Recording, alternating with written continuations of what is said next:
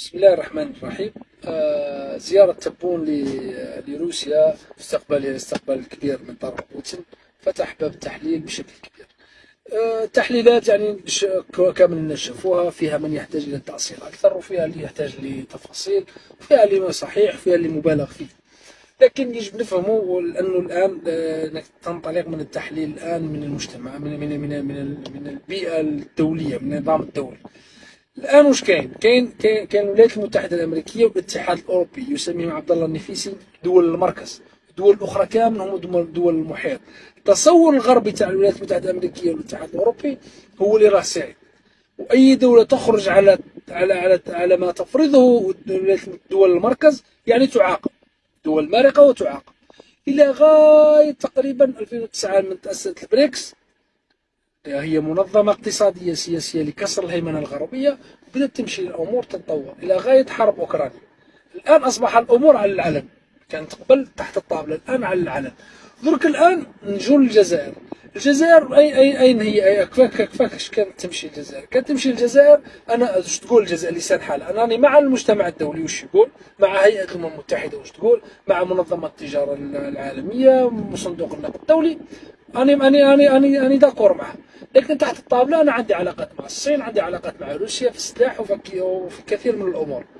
الآن روسيا والصين لما أسسوا البريكس وتأسست البريكس وتأسست القوى هذه الأخرى وأصبح هناك نموذج آخر غير النموذج الغربي وهو نموذج البريكس والدول اللي معاه أصبح الان العالم كأنه ثنائي القطبية أنه قطب آخر خلق.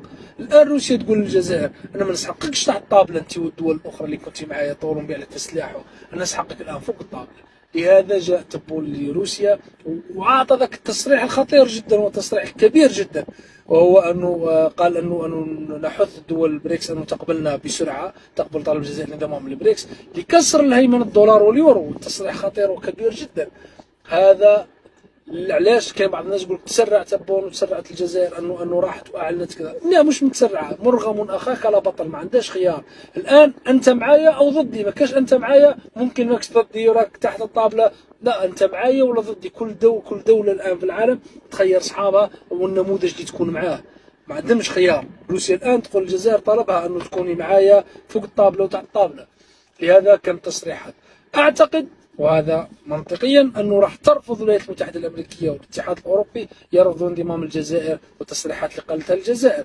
لهذا ستكون عقوبات على مع الوقت عقوبات كبيرة على الجزائر. ما ننساوش أنه عندنا هنا السفارة الإسرائيلية في المنطقة.